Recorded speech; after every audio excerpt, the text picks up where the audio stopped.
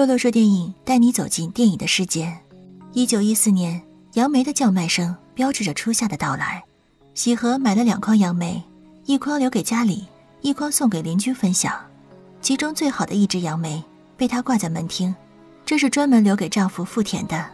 高知县的人都知道，喜和是最好的妻子，端庄贤淑，温柔和善，备受邻里喜欢。但这样美好的女子，却嫁给一个从事卑贱职业的一级中介人。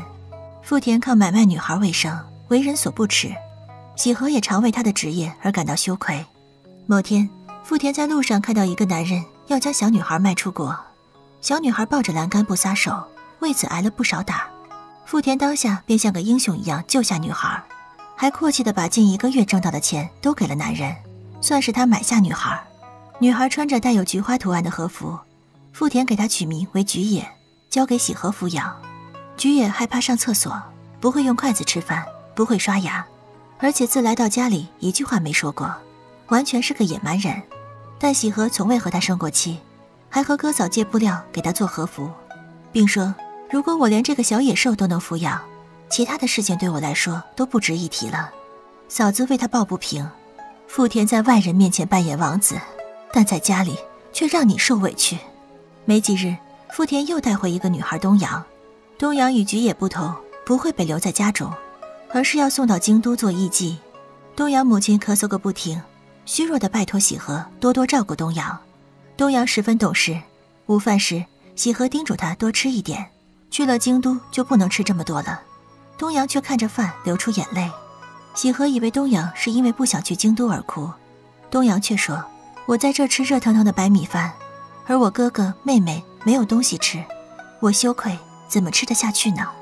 喜和舍不得这么懂事又勇敢的女孩，他想说服富田留下东阳当菊野的姐姐，富田想也不想的拒绝了。毕竟他已经找好买家，能赚不少，穷人没有别的办法出头，东阳只有把自己卖掉，才能帮助他的家人。东阳走后，富田让喜和去接济东阳的家人，根本不去想他在外面逞英雄，花光赚的所有钱。现在家里的米粮都是喜和与哥嫂借钱买的，而且米已经见底，自家都不够吃。喜和无法拒绝富田的要求，拿着最后一点米给东阳母亲送去。到了才发现，东阳母亲已经去世了，那个木桶成了他最后的归宿。喜和在震惊中打翻了米碗，东阳的妹妹们立马扑过来，就着泥水吃米。喜和回去后就病倒了，他觉得自己是遭了报应，如果自己不犹豫。快点将米送过去，东阳母亲也许不会死。富田告诉他：“这不是你的错，整个日本都是如此。如果我可以停止这肮脏的职业，我会停止。我没停下来，是因为它可以挣钱。我知道你不喜欢我的工作，但贫穷是种病，会腐蚀人的心灵。你、我、孩子们都不可以那样生活。”说罢，富田就离开了。菊野端着餐盘上来，这是他特意为喜和做的。曾经的小野人，在喜和身边耳濡目染，成了得体的小姑娘，也说出了他俩到这个家的第一句话：“妈妈。”时光荏苒，眨眼间就是十二年。一九二六年的春天，发生了很多事。菊野出落成漂亮的大姑娘，有了追求者。次子小小年纪就逃学，夜不归宿。长子生病无法上学，终日郁郁寡欢。东阳成为京都最有名的艺妓，如今回来。做了高知县黑道大哥古川的女人，高知县所有艺妓院都要经过古川的审查，富田的艺妓院也不例外。为了获得古川的喜欢，富田决定高价从外面请个歌女。至于请歌女的钱，就要由喜和来想办法了。喜和在外面东拼西凑，并卖了自己的和服与配件，将钱交给富田。一切都进展得很顺利。歌女的演唱俘获了许多人，也包括富田。久经风月场。东阳一眼看出富田对歌女很有好感，他私下找到富田，依偎在他怀中说：“我至今记得你当初买我的车是种缺点。”富田说了：“只要你忘了嫉妒，并决定回去，他会离开歌女的。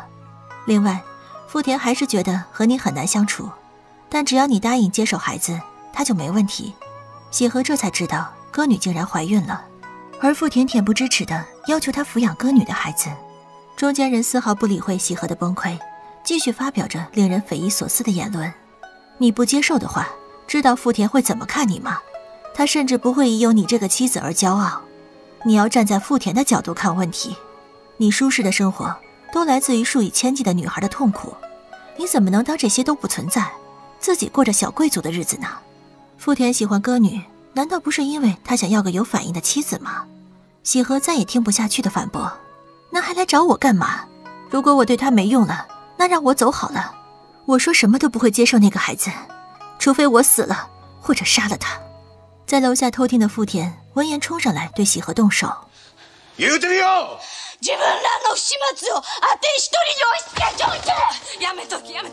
打完，他用一副吃大亏的模样说道：“我会离开歌女，你要不愿意抚养孩子，我就雇个保姆。”喜和心灰意冷，住在哥嫂家不肯离开。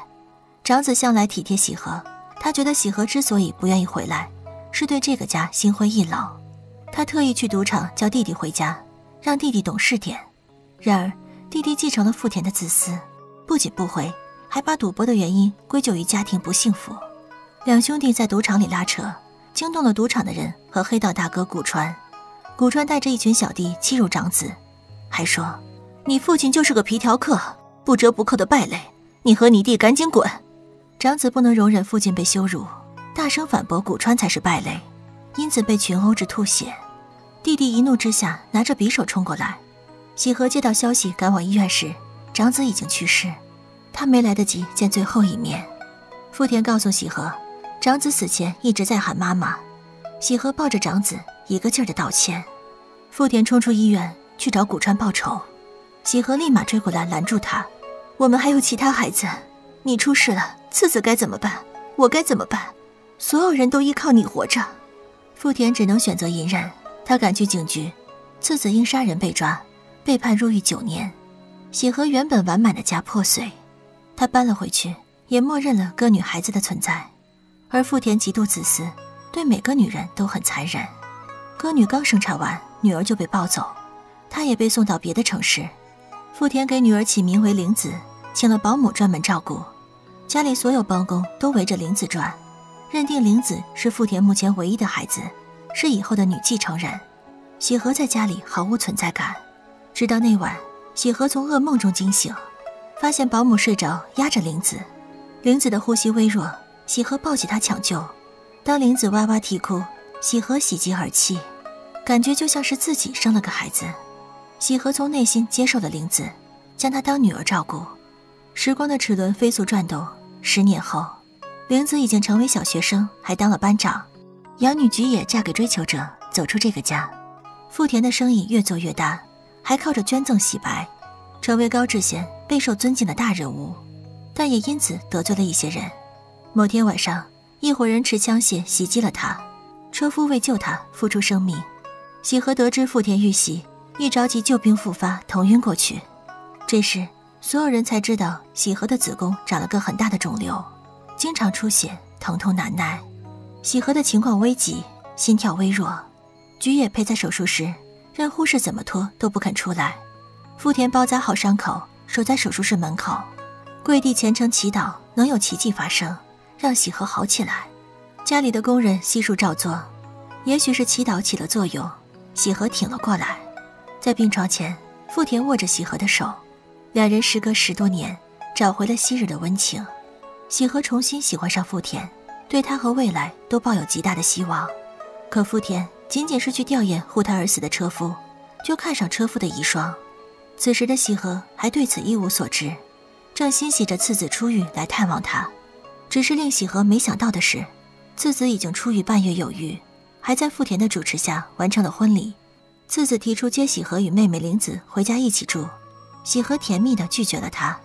富田说过要让他们母女住进他新买的楼房，次子却告诉他情况有变，新楼房已经住了别的女人。父亲越老越强壮，身边从来不能没女人，别在他身上花太多心思。他就是他，我们是我们。次子带走了玲子，喜和暂住医院调养，但他还是不甘心。一个雨天。他偷偷来到富田的新楼房，亲眼看见他抱着一个女人小意柔情。富田也看到了喜和，可他的眼神只停留片刻，便转身进门。喜和对富田彻底死心，再也不抱任何幻想。出院后，喜和来到次子家，结果看到次子一家悠闲的享受，玲子小小年纪像个佣人一样干着杂活，这是喜和所不能忍的。他愤怒地扔了水桶，仇恨地看着儿媳。次子出现，冷漠地告诉他：“父亲把这个家全托付给我，楼上的主卧应该我住，你和玲子搬到次房去。另外，家里所有钱你也要交给我掌管，我每个月会给你抚养费的。你要不同意，就去找父亲谈。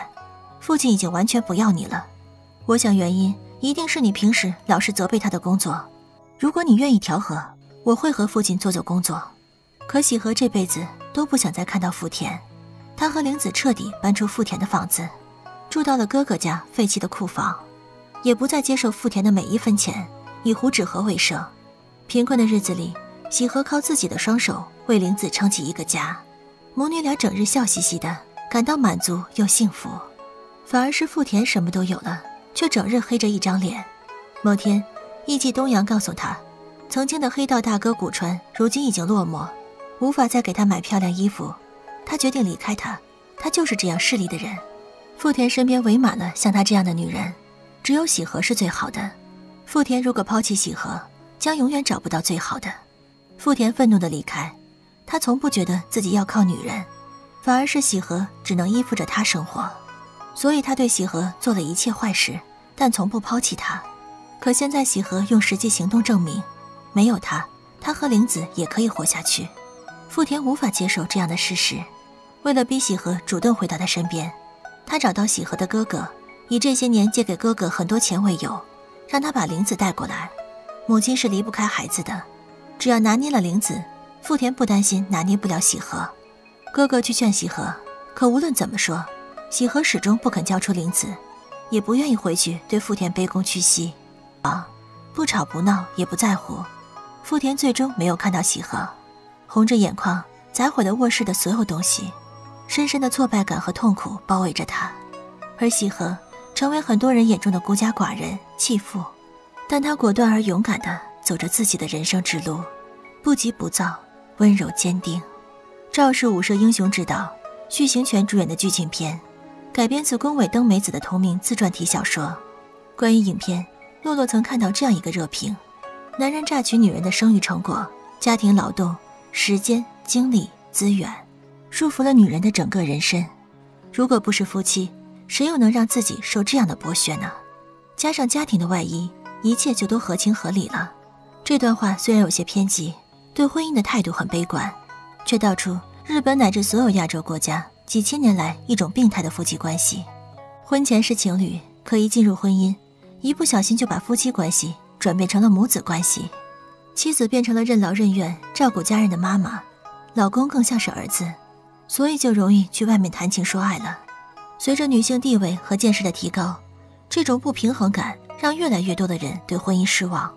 这几年兴起一种与母子式婚姻截然相反的婚姻——拼婚。所谓拼婚，就是两个有结婚需求又找不到合适另一半的人，拼个婚领个证，在形式上组成一个完整家庭。拼婚后彼此互不干涉，无论是生活支出还是抚养孩子，都是 A A 制。婚姻只是一种合作，没有感情，没有期盼，更不需要隐忍。但这两种婚姻无疑都是将就。著名剧作家莎士比亚曾说：“不如意的婚姻好比是座地狱，一辈子鸡争鹅斗，不得安生。相反的，选到一个称心如意的配偶，就能百年协和，幸福无穷。无论男女，选对伴侣都是极其重要的。好的伴侣值得我们花更多时间、精力。”耐心去等待和寻找，而等待与寻找的时间也并非浪费，正是我们认识自我、提升自我的大好时光。若遇见，彼此珍惜；若未见，自我闪耀。好了，今天就讲到这里。想看更多的电影解读，记得关注，获取第一时间更新哦。